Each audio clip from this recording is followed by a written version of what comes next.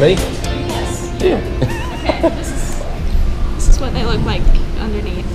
Oh, okay, cool. This right here is its mouth. I've been out in Cape Fear in the boat and seen just tons of those up on a on a sandbar, Yeah. but uh, I haven't seen the underside one. Yeah. Um, you can tell it's a male because, um, I'll show you again. Okay. Underneath here, this, oh guy, this guy's missing a leg. Okay, that's bad. Um, so those little boxing glove shaped claws are how you can tell it's a male. Because he Oh, uses okay. those to hitch on right here to other females. Oh, And then the females drag them up onto the sand when they mate and lay eggs. Cool. Um, these little feet right here are kind of like multi-purpose tools. They can use them to climb, um, Uh-huh. dig, and walk. Hmm. These are the main ambulatory legs, so he uses these to push himself along the sand or to push off the sand. Oh, okay. It's very cute. yeah. and then one reason we don't let guests pick them up is, of course, fear of them getting hurt. But the other Uh-huh. is those are its gills right there. So those need to Oh, stay okay. underwater for it to breathe. Oh, okay. Gotcha. gotcha. A lot of people just throw it out and they like hold it that far above the water. Yeah. Then when I say, please, sir, put that down, they just let go. It's terrifying. Oh. Um, their tail has no barb, stinger, or anything. Um, the only reason he's moving it around is to try and stick it in the sand, Yeah. flip himself over. Oh, yeah. Right. Right. Okay, I'll show you. Um, one way he flips himself over. The other he'll use his gills. Uh-huh. He's like upside down. He'll push them so that it kind of flips him like that, and then he uses the rest with his tail to flip himself over. Huh. It's awesome. You have to actually get to touch. I haven't seen move in the five years that I've lived in Carolina. Wow. Today is the first day I've ever seen him actually out. Wow.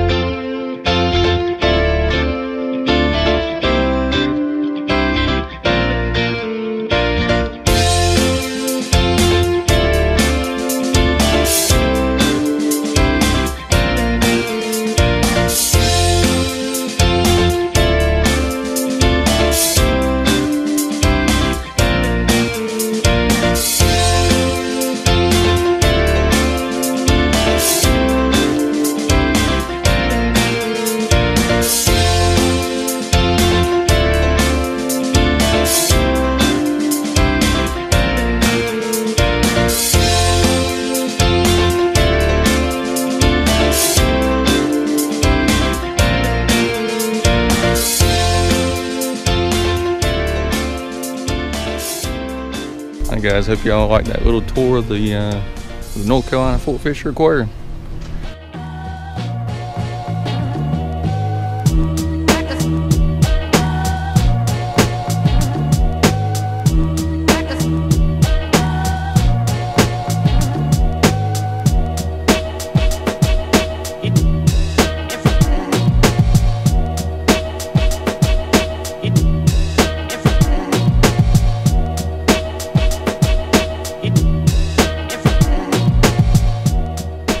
Guys, this is gonna be really nice.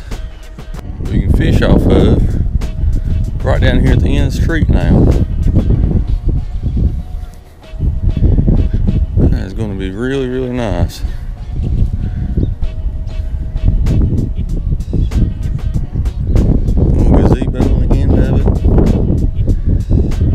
Super, super nice.